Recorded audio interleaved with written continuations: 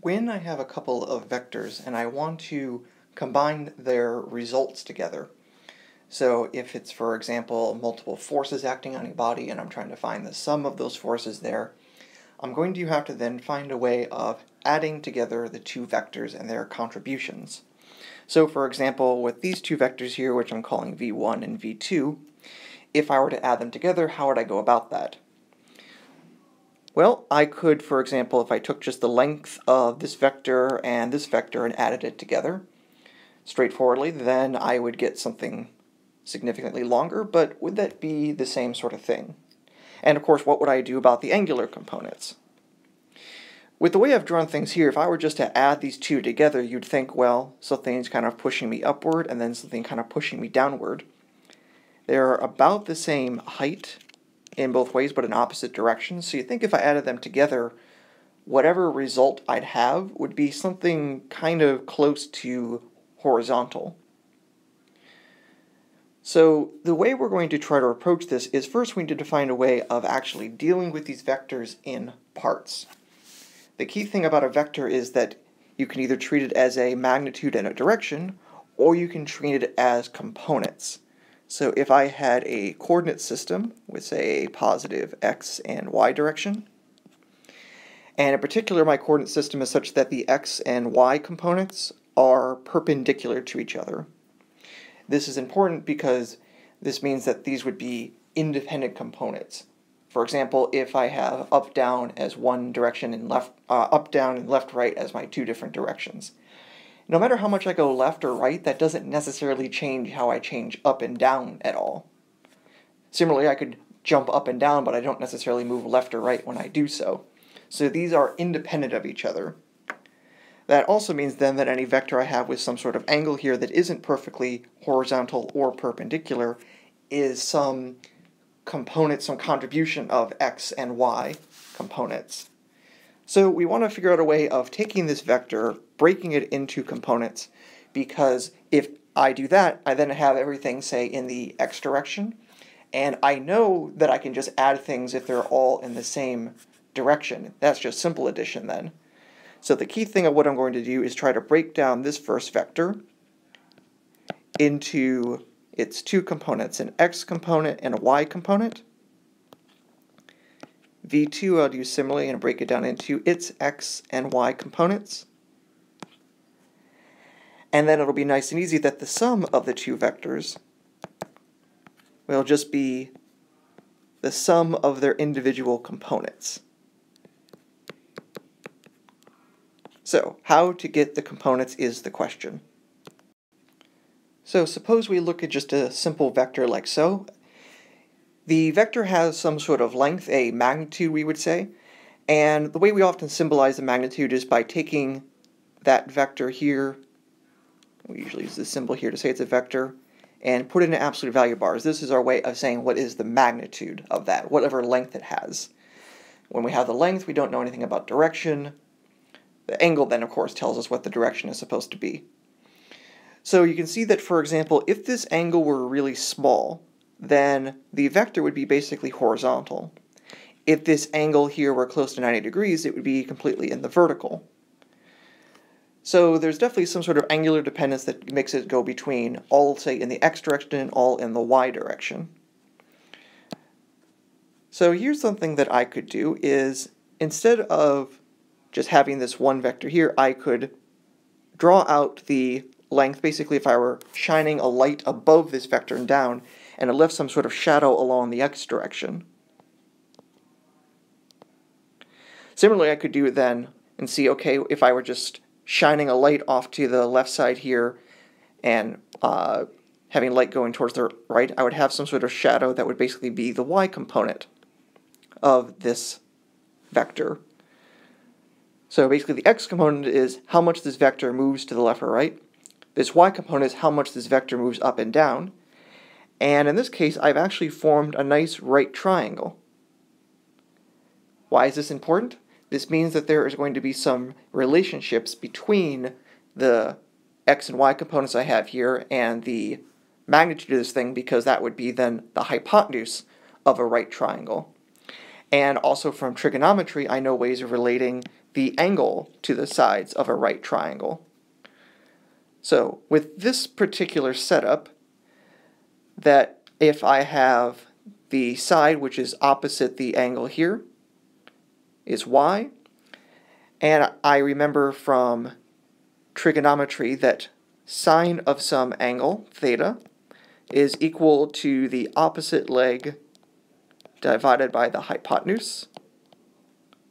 So in this case, that would be the y component divided by the magnitude of our vector. And also cosine goes with the adjacent side to that angle over the hypotenuse. So that would be, in this case, the x component divided by the magnitude of our vector.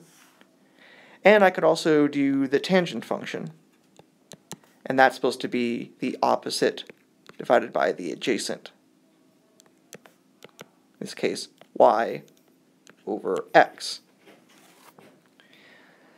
And there's also a nice direct relationship between the sides of this because if we have a right triangle, we have the ability to use the Pythagorean theorem, where the magnitude of that vector squared is equal to the sum of the squares of its components. So the size of the hypotenuse squared is equal to the sum of the squares of the either of the or either the sides of that triangle. So why might this be important? Now, if I were to give you what the vector magnitude is, if I tell you, for example, it's a velocity vector of 12 meters per second, and I tell you the angle is 30 degrees, with these expressions here, we could use a little bit of trigonometry and algebra to solve what we would like. So, let's make ourselves a little bit of space, put this over here. If I wanted to find what is the y component, I could then use the first equation here, this with sine function, and just solve for y. In that case, then y is equal to the magnitude of this vector times sine theta. Similarly, I could do then find the x component. Would be v times cosine of theta. So now I have a relatively easy way of taking a magnitude and an angle and getting this into x and y components. Now, I could have been given some other angle. So suppose instead I wasn't given the angle here that's relative to the x-axis here.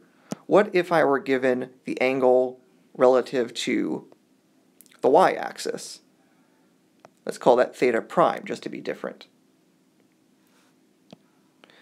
Well, even with this setup, I can still form the same sort of right triangle as I did before. Here's the x component, here's the y component. But in this case, the side that is opposite sine prime is the x component, and the adjacent side is y. So I could still do the same sort of setup of using the same sorts of expressions, but with y prime and x and y kind of taking position turnaround. So I could do the same and say, well, the y component is the magnitude cosine theta prime. x is equal to the magnitude of the vector sine of theta prime. So while it might be often the case I'll give you the angle with respect to the horizontal, that may not necessarily be the case. So instead of just trying to memorize these rules here, look at the angle and say, what is the opposite side? What is the adjacent side? What if I wanted to go in reverse? What if I told you the x and y components and you wanted to find the magnitude and direction of this vector? Well, we could find the magnitude if we want to use the Pythagorean theorem. Its magnitude will just be the square root of the sum of the squares of the sides. Not too bad. And suppose this is the angle I want to find here, with respect to the horizontal in this case. I could use the uh, hypotenuse equation here and plug that in and use sine or cosine, But I could also just use the components as they are. So I know the opposite, I know the adjacent sides to that angle, which means that tangent of theta is equal to opposite, in this case y, divided by adjacent, which is x. So that the angle theta is equal to the arctangent or inverse tangent of y over x. So with all this, I can now go between magnitude direction to components. I can go from components to magnitude and direction. When I am adding together vectors, I'm going to be trying to adding together their components.